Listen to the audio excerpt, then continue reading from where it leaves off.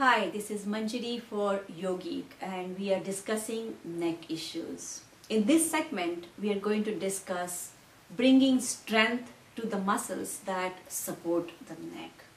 And this is something we often ignore. There are a couple of ways to build strength. One is to create resistance when you're stretching the muscles. And the second one is weight bearing. And that weight bearing happens during inversions, but we're not going to address that today. So in the resistance, we use just the hands to create resistance for the muscles.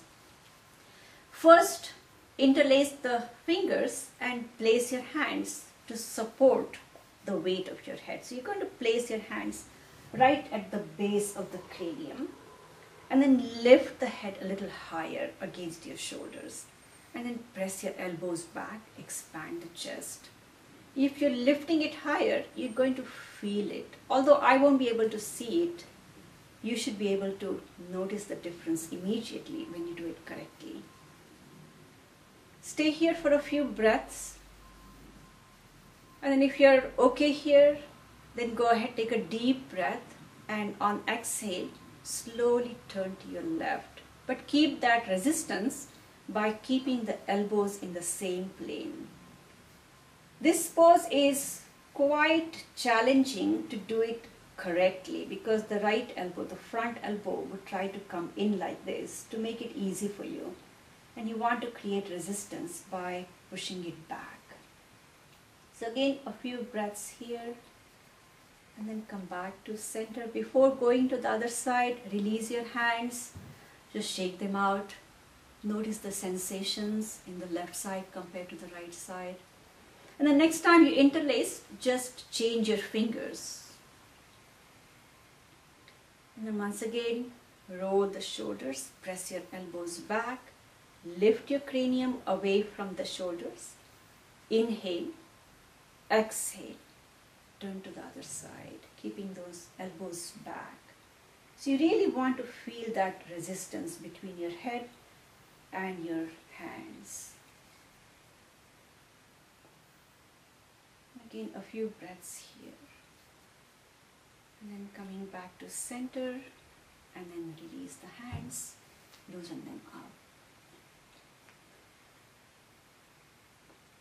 And now you want to bring your right hand right on the side of the head and you're trying to drop your right ear towards the right shoulder. So without that hand, it will go all the way. My hand is going to come to resist that movement. So I'm again, it's not quite visible, but you should be really able to feel it in the neck muscles. In fact, I can even feel it in my arm muscles, so you're getting double the benefit. Again come back to center release. Now the other hand on the other side of the head. And now that ear is trying to drop towards the shoulder but the hand is preventing that from happening. And again I would feel that tension in my neck. And I'm, I'm doing it rather quickly. You can take your own time. So you can do it maybe like five six breaths at a time. And you'll notice the difference and then come back. And now you want to bring the hands at the back of the head and then the head is pushing against the hands and the hands are trying to push forward.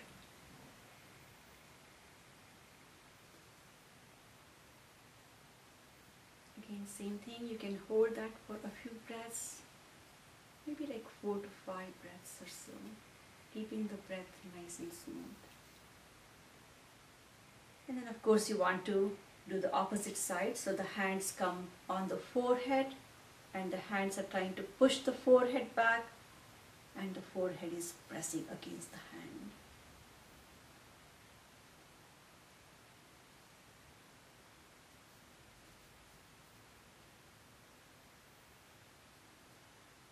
And come back, release the hands just roll the head gently from side to side, bringing back mobility. And then from back and forth.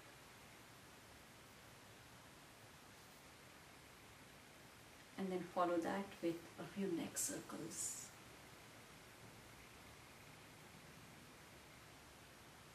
And changing the direction, the other way.